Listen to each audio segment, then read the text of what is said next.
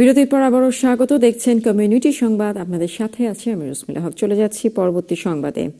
Family welfare association in tower hamlets এর উদ্যোগে বাংলাদেশ ঢাকা সমিতি মিলানের একশো এক সদস্য বিশিষ্ট দুই মুসলিম সেন্টার মসজিদ কর্তৃক পরিচালিত মিলান সেন্ট্রাল একাডেমির শিক্ষার মান উন্নয়নে শিক্ষক ও অভিভাবকদের ভূমিকার শীর্ষক সেমিনার অনুষ্ঠিত হয়েছে।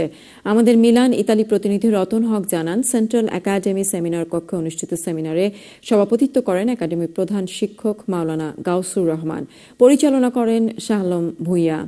এতে আলোচনায় অংশ নেন মুসলিম সেন্টার মসজিদ সভাপতি সৈয়দ হোসেন জসিম, উপদেষ্টা আবু হানিফ পাটোয়ারি, মাওলানা আব্দুর রহমান, সাংবাদিক রিয়াজুল ইসলাম, কাউসার মামুন খান। দুই হাজার পনেরো জানুয়ারি থেকে শুরু হয়ে প্রতিষ্ঠানটি শত শত ছাত্রছাত্রীকে বাংলা ও ইসলামিক শিক্ষা প্রদান করে আসছে।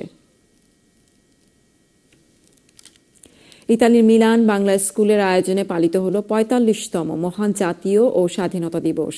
আমাদের মিলান প্রতিনিধি জানান, ছাব্বিশে মার্চ বিকালে মিলান বাংলা স্কুল হলে এক আলোচনা সভা ও সাংস্কৃতিক অনুষ্ঠানে সভাপতিত্ব করেন সেলিনা আক্তার।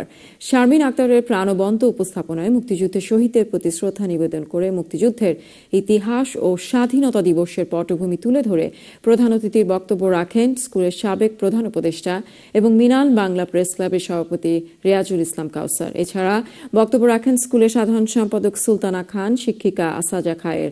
অনুষ্ঠানে স্কুলের শিক্ষার্থীরা সংগীত ও কবিতা আবৃত্তি করে। শেষে শিক্ষার্থীদের পুরস্কার প্রদান করা হয়।